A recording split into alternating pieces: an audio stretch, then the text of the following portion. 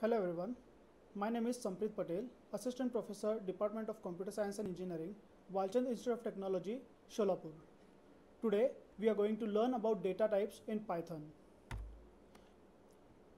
In the end of this video, you will be understanding the data types available in Python and you will be able to apply these data types in different applications.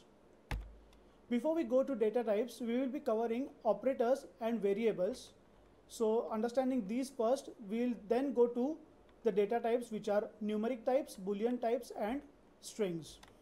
So starting with the operators, Python has these specific operators that is add, for addition is plus, multiplication, division, subtraction, modulus and power of.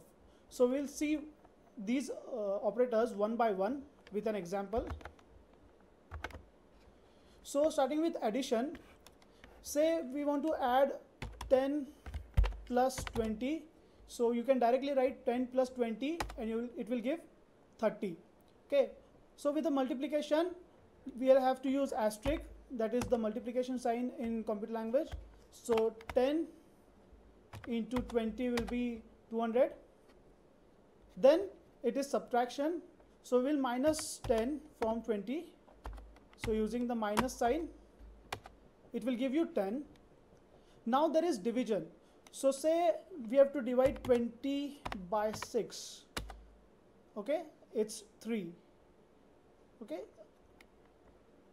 So moving on to modulus we want to find mod of a particular number. So say 20 percent of 100 will give you 20 or other way around if you want to find mod 100 mod 2 it will give you 0 as it is 100 is divisible by 0 then power of.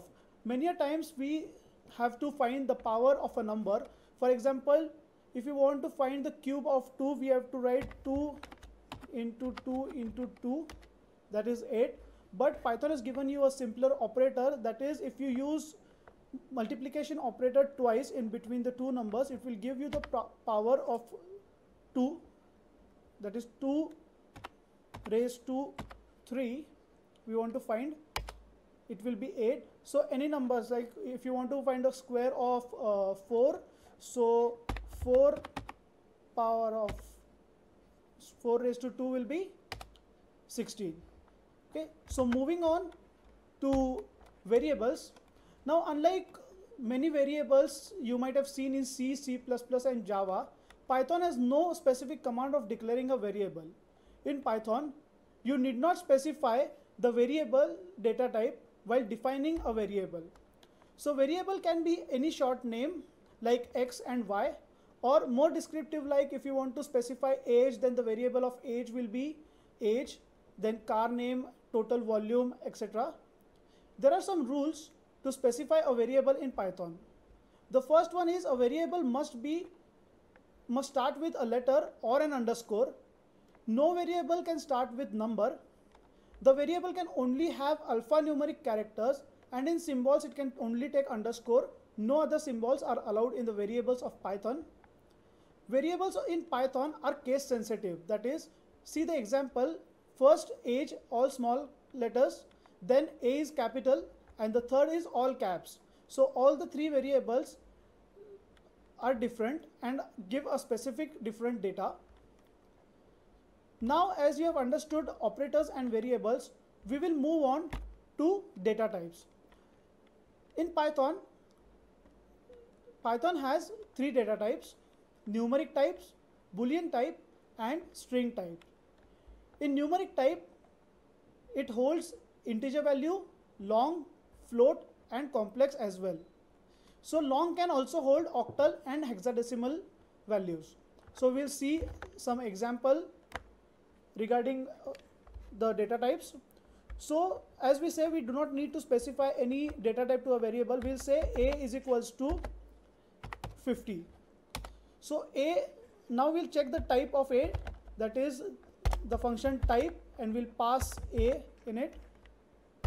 So see, here it is giving the type of a is int okay now for float float is a floating precision and python takes up to 15 decimal points precision value. So if we say A is equals to 2.5 and now if we check the type of A, so the type is float. Okay, moving on to the complex numbers. If we say B is equals to 2 plus 3j, so B is assigned with 2 plus 3j which is a complex number. Now if we check the type of B, so B is a complex number. So pause the video and try to code the following statement. Write a program that does addition, subtraction, division and multiplication of two numbers. Now we'll see how to do this. Okay, so we have taken two numbers, say A, we have taken input. So input function is used to take the value from the user and similarly we have taken a second number B from the user. Now we have calculated the addition of A plus B and we are storing the value in C and here we are printing so we'll say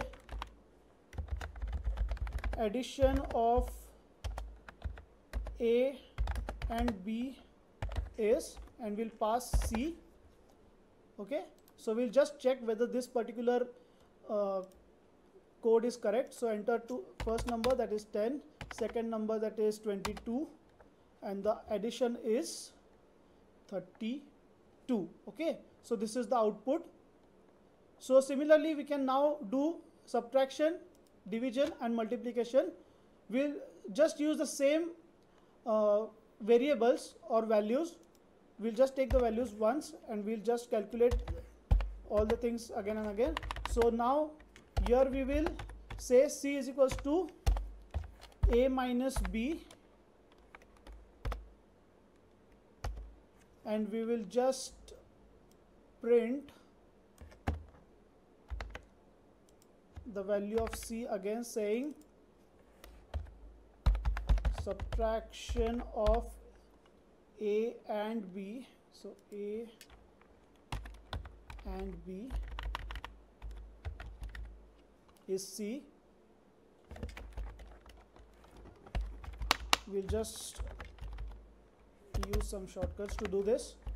So here we'll use a into b and we'll say multiplication of a and b is c. We'll again paste it for division.